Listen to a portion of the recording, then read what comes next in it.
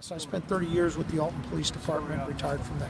Seeing that uh, some of the residents, or some of the signatures didn't match the residences that they said that they lived at as registered voters, and some of the signatures were in question also. I, you know, we're going through the process of being challenged, and uh, I, I think we have sufficient signatures that will hold up under scrutiny, and we're going to be going through the process to, to prove that. And um, so I'm optimistic at this point.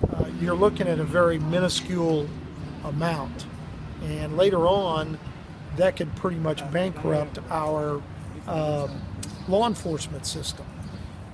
Because the, the general fund, only part of that money goes to the general fund, and the other part goes to operating those law enforcement and emergency services entities.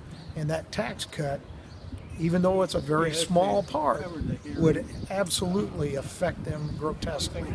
To me, I, I'm a little bit confused about it. Are they, are they saying that the first place they're going to cut when they have less money is, is law enforcement? Is that the thing that, I, why would they cut there first? I'm not quite certain. The argument just seems rather shallow at this point to me.